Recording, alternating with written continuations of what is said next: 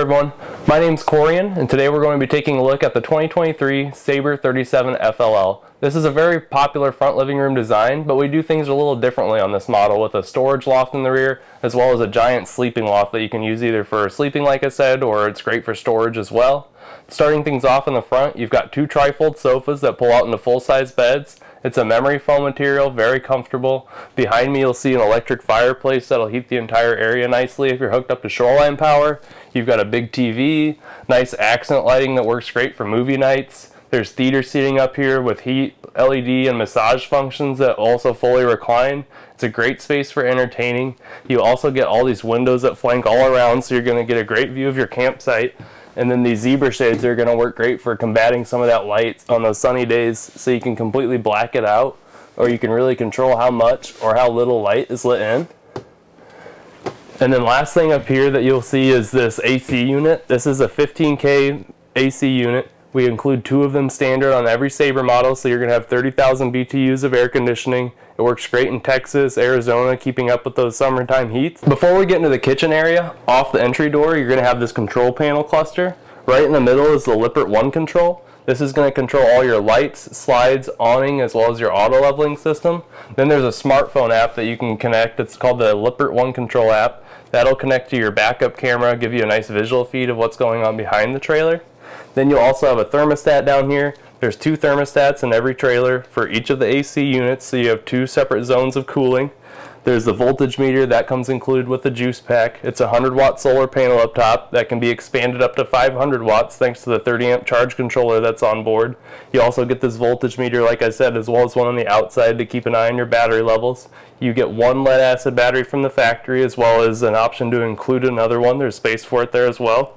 Then you have light switches and then just a switch for your tank heater. So starting things off in the kitchen, it's a very beautiful setup with a lot of countertop space. You have a beautiful wraparound counter. It's 100% acrylic material so it's heat resistant as well as scratches will buff out of that material as well. You have a farm style sink with a detachable faucet. It's a nice big sink that you can put big pots and pans into. There's tons of storage. With this storage being a little tall, we've included this step.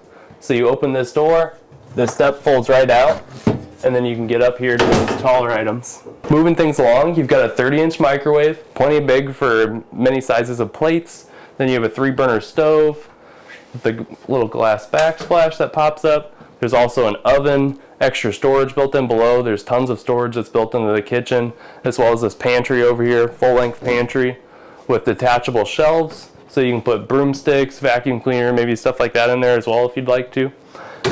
Then you have a very large fridge this is a 16 cubic foot Everchill fridge that runs off a 12 volt. So it's very power efficient, only draws about 3.5 amps per hour. You have two fridge doors, two freezer drawers, and it looks just like one you would have at home.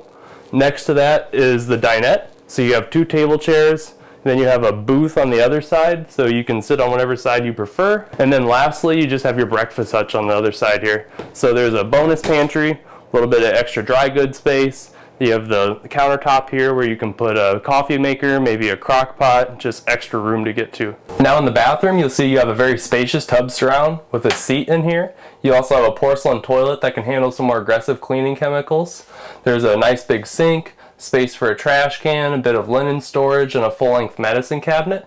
Then one more feature that's going to be great for the bathroom is going to be our new tankless water heater. It's going to be instant on-demand hot water whenever you need. No more waiting around for the water to get warm enough. Just take a shower whenever. You can take back-to-back -back showers if you've got a large family and you won't run out. Right next to the bathroom before you get to the master bedroom, you're going to have a stairway coming up to these two lofts. The loft on my right hand side is going to be for storage, works great for totes. Smaller children may fit up there, but it is a little more cramped than the main sleeping loft which is on my left hand side here. It's very spacious. I can actually get up here and sit, not hit my head.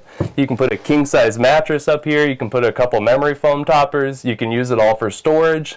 There's shelving built into the back. There's USB ports. There's power hookups up here. There's anything that you would need. Lastly, in the interior is the master suite. You're to have a nice big king size bed that's supported by struts so you can get to that storage underneath the mattress. Then behind me is to be your wardrobe slide. You've got plenty of space in there for all your clothes. Put that sort of stuff away. You've got some shelving built into the middle as well.